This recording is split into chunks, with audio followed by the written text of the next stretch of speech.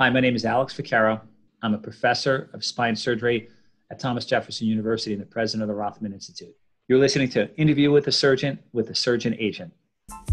On this episode of Interview with the Surgeon, we welcome Dr. Alex Vaccaro, president of Rothman Orthopedics since 2014, and the Richard H. Rothman Professor and Chairman in the Department of Orthopedic Surgery and Professor of Neurosurgery at Thomas Jefferson University. He was the recipient of the Leon Wiltse Award given for excellence in leadership in clinical research for spine care the North American Spine Society, and is the past president of Cervical Spine Research Society, American Spinal Injury Association, and the Association for Collaborative Spine Research. He has over 820 peer-reviewed and 200 non peer reviewed publications. The editor in chief of Clinical Spine Surgery. Published over 372 book chapters. The editor of over 63 textbooks and co editor of OKU Spine 1, editor of OKU 8, director of the Regional Spinal Cord Injury Center, Delaware Valley, and co director of Spine and Surgery Spine Fellowship Program at Thomas Jefferson University Hospital. Instructs current fellows and residents in the diagnosis and treatment of various spinal problems and disorders.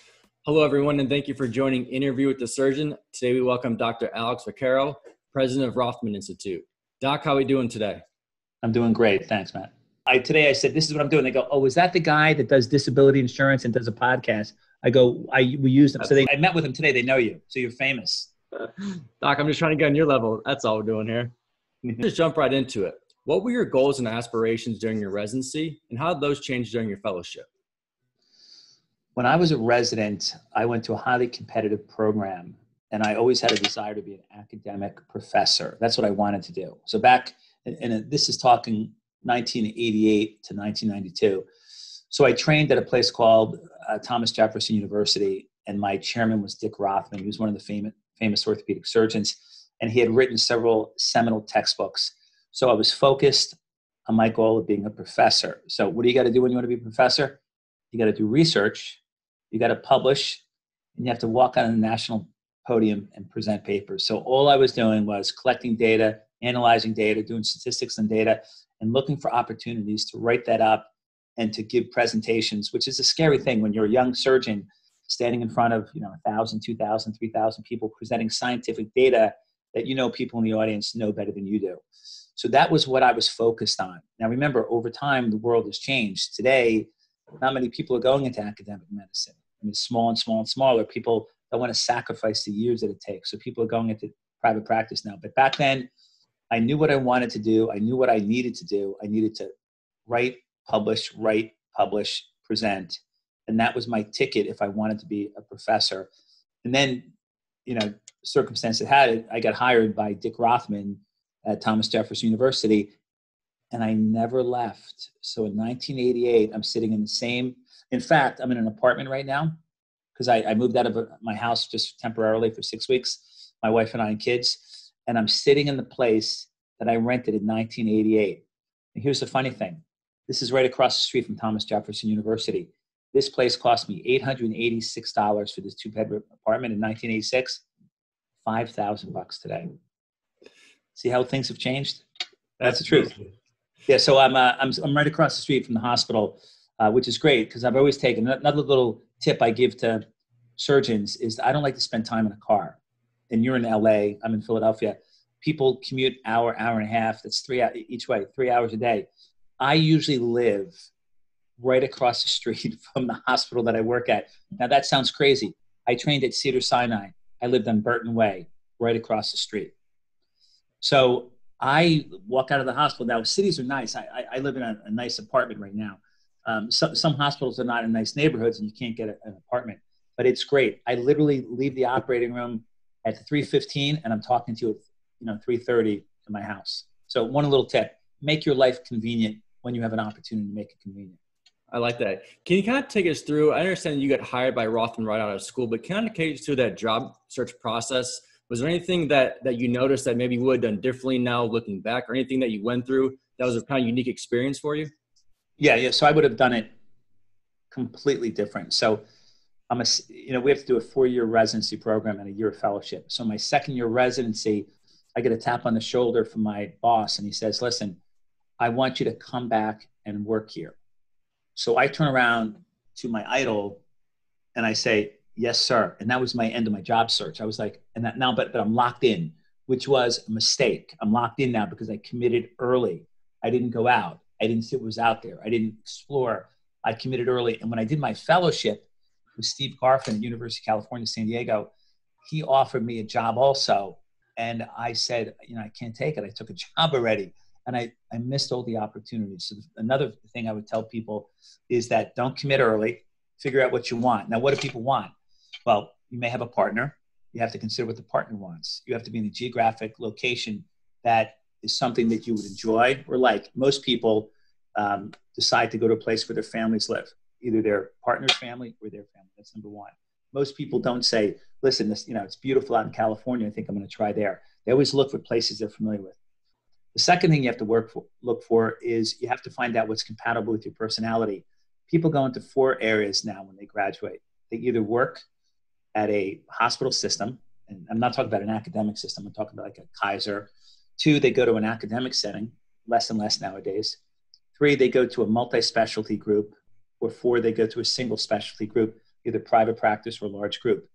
I'm at the Rothman Institute, so we're a private practice group, but we have 220 people. So we're a big, big orthopedic group. Most people uh, can't afford to go into private practice. I mean, very rarely is there a two, three, four, five man group that exists. And if it does exist, they really can't afford to cover the expenses that it takes to bring in another surgeon. Electronic medical records, you know, all the uh, quality insurance uh, things that we have to go through nowadays. So most people are, are looking for larger systems. So if you look at the numbers, about 70% of people now go into a healthcare system slash academics environment, which I think is a shame. I would advocate that every orthopedic surgeon look for an opportunity to be autonomous, join a large orthopedic private practice. Multi-specialty group is okay because you have a you have a committed population of patients that will come to you, but the deal may not be good for you because you may be the revenue generator in your group as an orthopedic specialist. I mean, you work a lot with plastic surgeons, so you can imagine a surgeon in that specialty is probably bringing a lot of revenue that is used to offset loss leaders in the field multi-specialty group, you'll have certain specialties that really don't have good reimbursement contracts. So you may be working as the engine for that particular group. So my recommendation for most people is you want to be autonomous. You want to develop the direction that your group wants to go in. We're moving to outpatient surgery now. You want to be a leader in that. You want to set up ambulatory surgical centers, possibly expand when the law allows physician-owned hospitals. If you work for a healthcare system, your only input is your advice, your opinion and that might not take you far. So that's what I would do now. So if I had to do it again, I'd probably say, you know something, I want to join you, but can I get back to you? And then look around a little bit. I may have, I may lose the opportunity. May say, listen, I gave you an opportunity and I passed, but I'd probably look around first before I made the early commitment. Now, dealing with residents and fellows both at Thomas Jefferson and at Rothman, what are type of the questions that you get from them asking, you know, as far as they're going into the professional job market? What type of things do you see that they're looking for or asking about? So I have six chief residents who graduate every year. And then outside of that, I have um, four spine fellows. I'm a spine surgeon. So, and they always ask me across the board, uh, I'll, go through the top down question. They usually say, um, when they first join me, they say, listen, I want to be a professor like you. So can you please hire me as a fellow? And I know that's a lie. That's because they I'm a, I'm a professor and I want to train academic surgeons. So I always laugh. I go, the chances of you going to academic medicine is about 2%, but I like the line. Now, when they're graduating, all of a sudden, there's no academic jobs available. Now they're looking to private practice, which is what they had always wanted to do. And then they, the next thing they say to me is they, they're sort of afraid to approach me because I'm a professor and let me know they're going to go for private practice. But after a while, they say, listen, I'm looking at these five jobs. Can you help me look at the job? And they hand me the contract. I always say the first thing is when you get a contract, give it to a guy like me who writes contracts. I write the contracts to hire everybody with my staff. So I know everything about a contract. I know the laws about non competes. I know salary. I know benefits. I know um, the opportunity to get an ex- uh, a physician extender, such as an MA, NP, or PA. I know all the rules. I know what it costs. I know exactly what the benefits are. So I say, let me take a look at that. And I look closely at opportunities to become a partner, how many years to become a partner, ownership rights in ancillary services, uh, and how they determine salary, how um, when do you get a medical assistance and NP? How many years in practice you have to be, and so forth. So I look at all those things for them, and I'm like, okay, this is a reasonable contract. The first thing that strikes me about a contract that I look at is I look at the non-compete. If you're in the city, the non-compete distance has to be smaller. If you're in the suburb, it's larger. You also have to realize many states don't honor non-competes anymore. I had a gentleman leave me who was a spine surgeon here in Philadelphia, and he was going like next door. So we exercised our right to challenge his non-compete. And after two years and a lot of money, the New Jersey judge said, "Yeah, I'm not going to honor it." Ripped it up. Shocking. So there's, I mean, state of California will not honor a non-compete in medicine. I have people out there all the time that leave their groups and they get sued. Won't honor a non-compete. It doesn't mean ignore the non-compete, but keep that in mind. If there's a, a burdensome non-compete, that's a reflection of the attitude of those who own the practice you join. Now, starting salaries is the next thing I look at. I know what the competitive salary is for a spine surgeon. I'm a spine surgeon. So if someone comes in really low, and let me tell you the states that come, what state do you think comes in the lowest for salaries for spine surgeons? Let me think. Oh, California, where you're sitting right now. They come in the lowest for spine, which is amazing because people want to be there. It's a very difficult state. So I said, okay, you know, they're coming in low, beautiful state. Everyone wants to be in California. So let's take a look. Um, I need to have an understanding of how much everyone else in the group makes. How many years to partnership? Will you have ownership in the real estate? That's a little game that a lot of people in, in businesses have. They allow you to come in as a partner, but you don't own the real estate. Oh, who owns the real estate? The older physicians own the real estate, which means you're paying the older physicians to go to work every day because you're paying for the rent for the building, you're paying for the upkeep, you're paying for so, and you're not profiting from that at all. So you say, listen, in my opinion, at the Rothman Institute, once you become a partner, you have equal ownership in everything, which means the owners get diluted, but we get diluted for a purpose to get bigger, larger, more stable. So that's the second thing I look at. I say, let me let me look at that. And then the last thing is, you know, get an understanding: are the partners or the physicians happy? And that's why it's important for your partner to meet the other partners in a social environment. If you get together and everyone's separated or divorced, standing around, that's probably not a good place to go because that means that it's not a very friendly work environment where people don't get along. If everyone seems to be friendly and open, that's a good environment to be in. The thing that is least important, believe it or not, is the pay over time. I mean, uh, uh, physician salaries across the board are shrinking, shrinking, shrinking. You want to have a reasonable work life balance and you want to be comfortable and pay your bills. So if you go to an environment where the cost of living is low, forget about the money. If you go to California, New York, you got to think about money because you got to pay rent, you have to own a place, you have to be able to afford schooling, food, and so forth. So these are the things you think about. What would you say were some of the keys of your success that shaped your early career as you climbed to the top of your industry?